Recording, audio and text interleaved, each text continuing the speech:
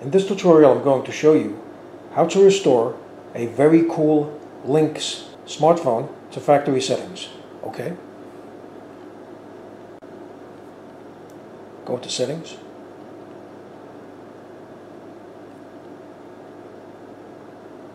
Go to backup and reset. Factory data reset. Now if you have an SD card installed, check erase SD card. If you don't, just leave it unchecked. Then go to reset phone, erase everything.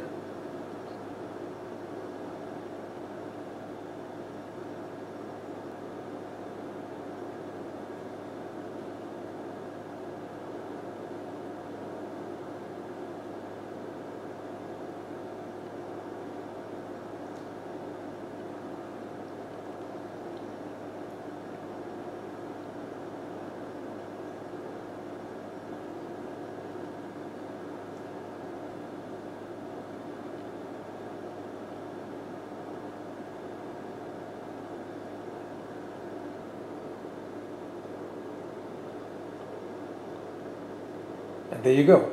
The phone has been restored to factory settings.